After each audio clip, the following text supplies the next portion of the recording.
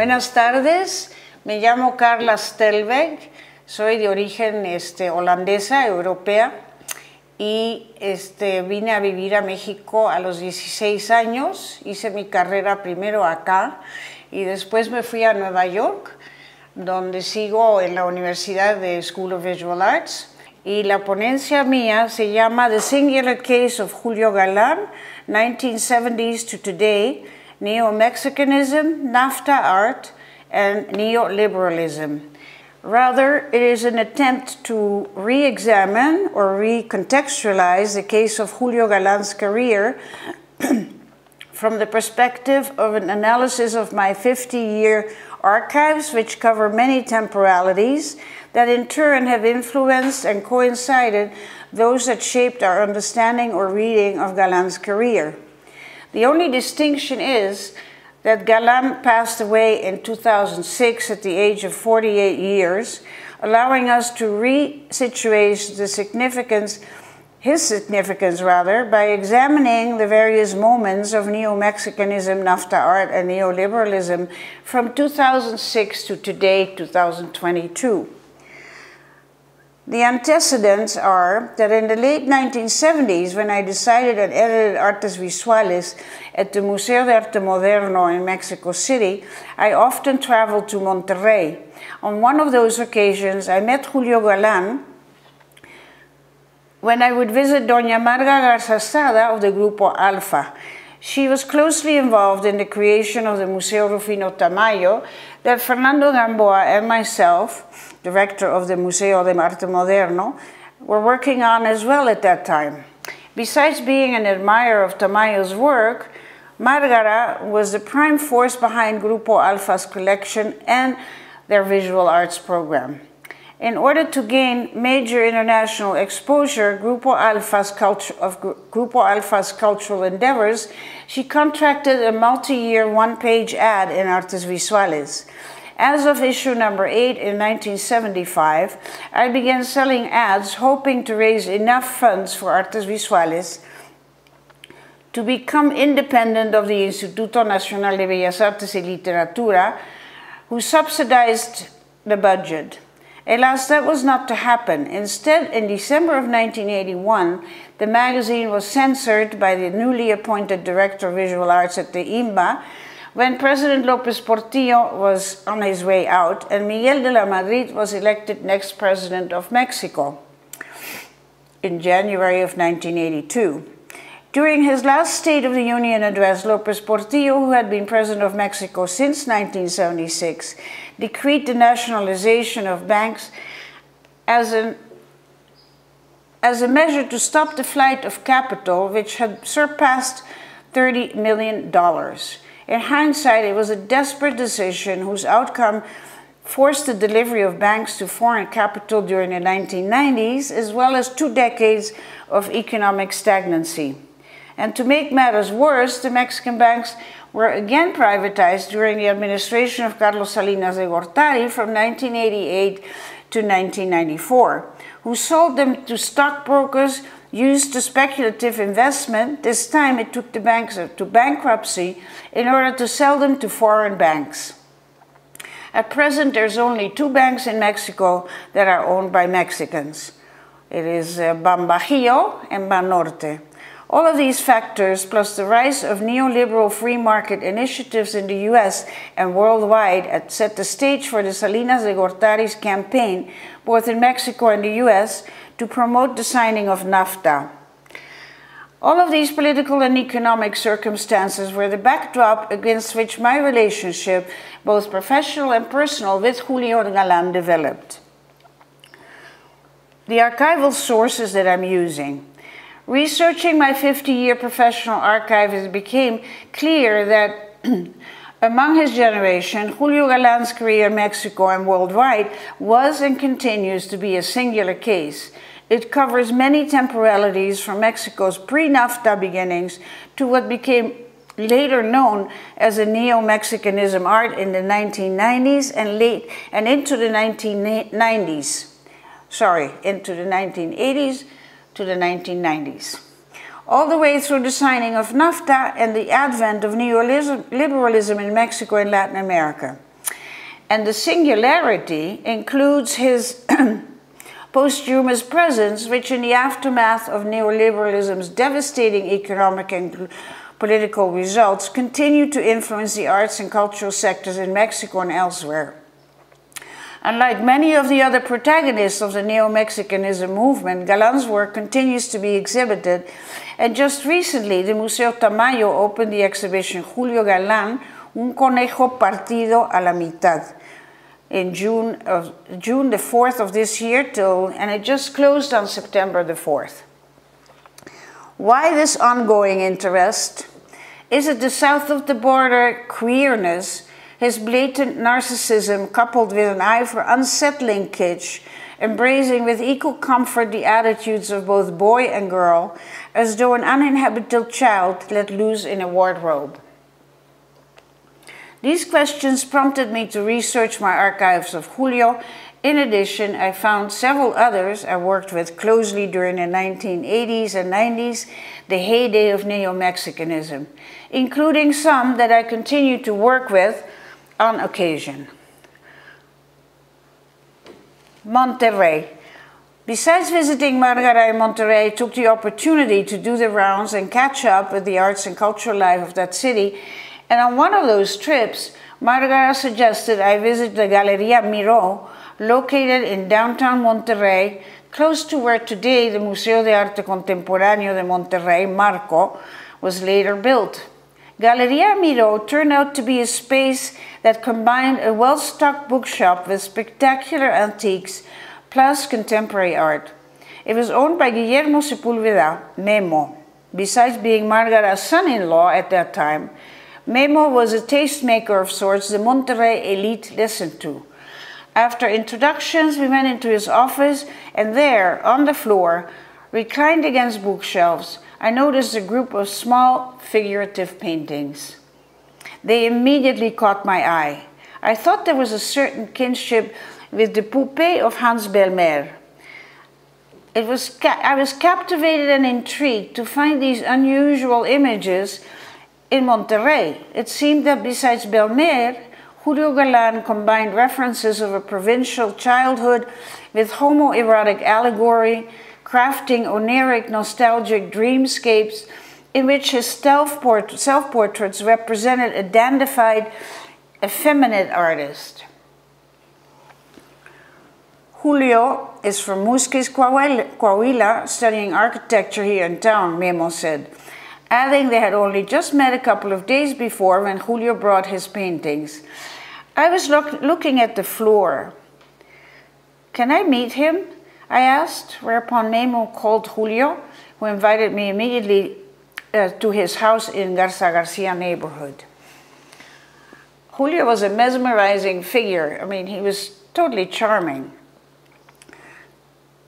So I was really happy that he invited me and I took a taxi and upon arrival met him as well as his mother.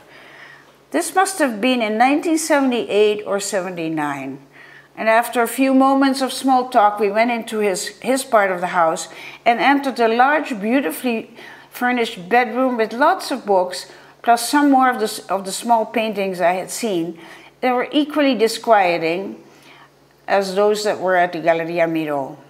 We then went into an adjacent small seating area with a work table and sketchbooks, assorted art materials, and several raw canvases. I spotted a box of exquisitely painted tar antique tarot cards, which prompted Julio to offer to do a reading. He was completely at ease interpreting, interpreting the symbolism and elaborated extensively on each card that I picked. I was mesmerized by his imagination and his baby face, and his knack for fantasy, as well as his demeanor, which was shy yet inspired, translucent. He was all lit up. Then I had to leave for another appointment at my hotel, but we promised to meet one another the following afternoon. This time I invited him to go together to see Death in Venice, and note, which I had noticed was playing in one of Monterrey's theaters. After the film, Julio suggested we have dinner at a local restaurant, and once there, he asked me what I thought the film was about. I was perplexed. How come he hadn't picked up on Visconti's film Queerness, in which the actor Dirk Bogarde, in the middle of a wave of cholera, obsesses over a gorgeous Venetian young boy? I explained as delicately as I could, thinking perhaps Julio had not come out of the closet, or he didn't understand what the Thomas Mann's book was about. Today, in hindsight, it may have been Julio's way of teasing or perhaps testing me. Before parting, I mentioned I'd like to approach some Mexico City art world people who might be as interested as I was in his work and would need slides which he said he could bring to the hotel next morning. Prior to my departure from Mexico City, sorry, Julio stopped by the hotel where over coffee we discussed his works. The slides clearly demonstrated how removed from the lyrical abstraction most Mexico City artists favored at that time, his work unequivocally embraced representation and gender. Once back at the MAM, Museo de Arte Moderno, I made a date to go see Armando Colina and Victor Acuña at their Galeria Arvil, where a year or two prior, with Francisco Toledo and several critics, we introduced Enrique Guzman's works.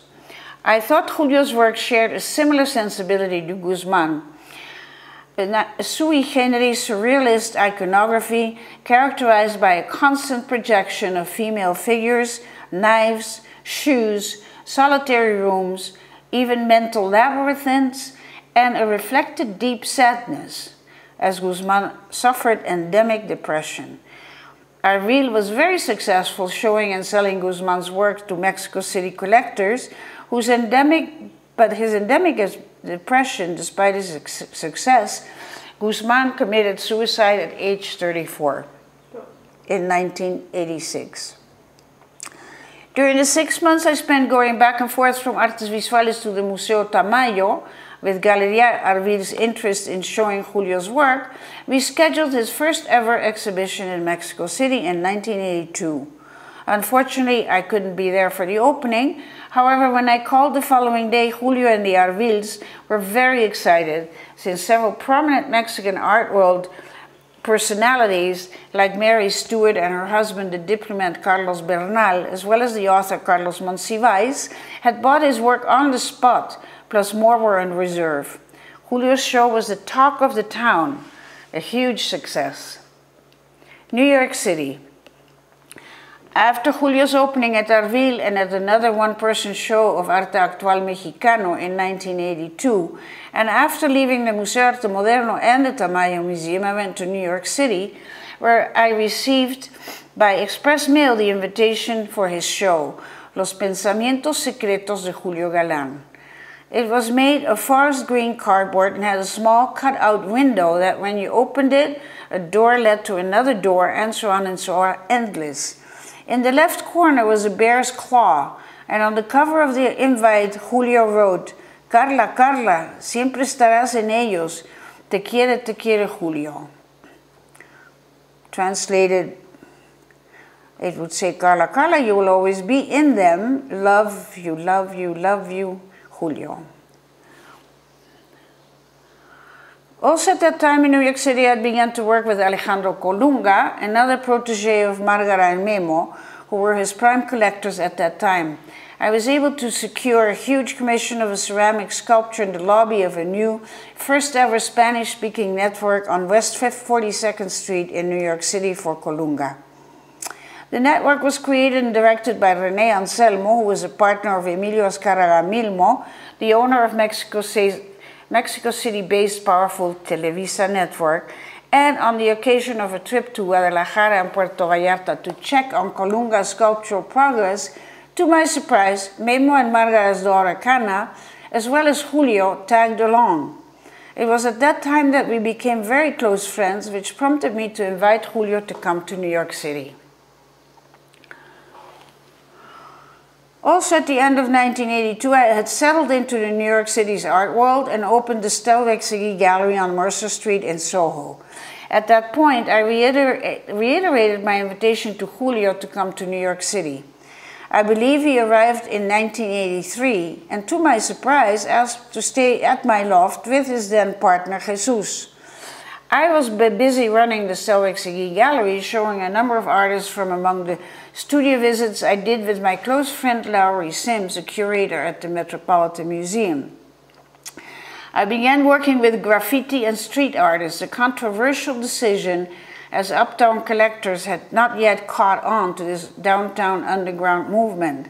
And at some point, I introduced Lowery and Julio, who became fast friends, and several years later, she wrote an essay of Julio's first museum solo at Marco in September of 1987. Upon his arrival in New York City, Julio gifted me a small painting from his Arvil show. He had carried it under his arm from Mexico, and I was very touched by the generosity. As I was curating an exhibition titled Soul Catchers at Segui Gallery, I realized that this small painting fit perfectly into this overall curatorial script. When I told him the work would be included, Julio got very excited, knowing it would be his first inclusion in a New York City gallery show. The work depicted a bandaged figure sitting on a table as though a sculpture. And it had no legs and knives were stuck all over its bodies. Two arms covered the eyes, of a bald-headed man or woman. In addition, Julio had attached two tin milagritos of the bleeding heart type. Milagritos are a popular art form used to express gratitude or request a miracle from your favorite virgin or saint, and then taken to hang in chapels and churches all over Mexico. Julio's milagritos were sewn with string to the top left and top right of the canvas. The painting was allegorical and very soulful. I soon realized that Julio's work echoed the second generation of New York Expressionists in New York City, which in the early 80s was the heyday of this polymorphous painting style, whose freewheeling strategies of collage, fragmentation, cultural borrowing, and dreamlike suspension were formulated by David Salle, Julian Schnabel, and Francesco Clemente, who in turn were influ influenced by Sigmar Polke.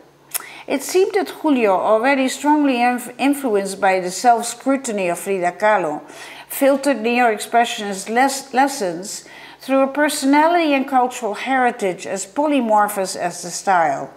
Throughout an astoundingly varied, often uneven range of images, he laced references of his childhood and his sexual identity with allusions to Catholicism, the Mexican Baroque, pre-Columbian cultures, retablos, and folk art. The result was a kind of postmodern symbolism, overripe, often perverse, yet mesmerizing. Their torturous, dreamlike settings tended to be haunted by a handsome young man or boy child who strongly resembled himself. He underscored his preoccupation by painting himself in different roles. For example, hugging Jesus or as a Niño Dios, or covering his eyes on top of a reclined, veiled self-portrait.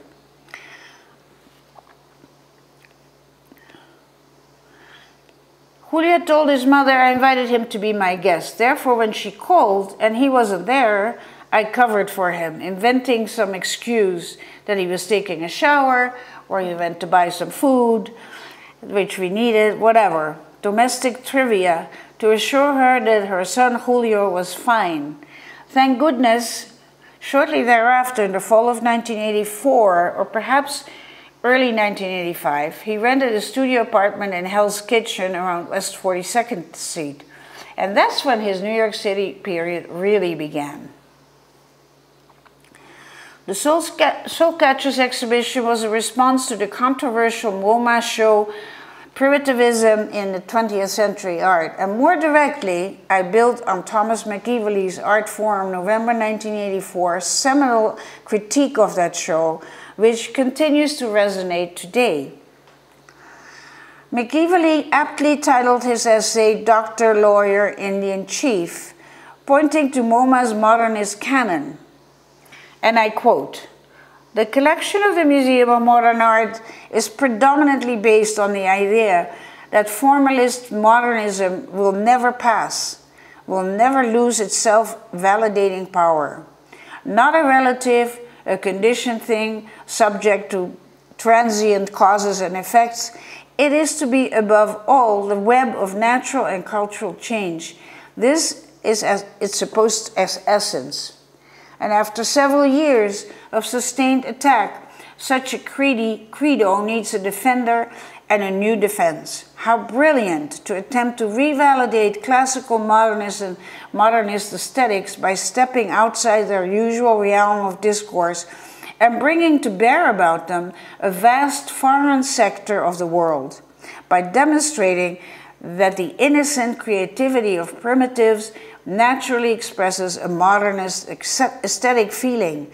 One may seem to have demonstrated once again that modernism itself is both innocent and universal.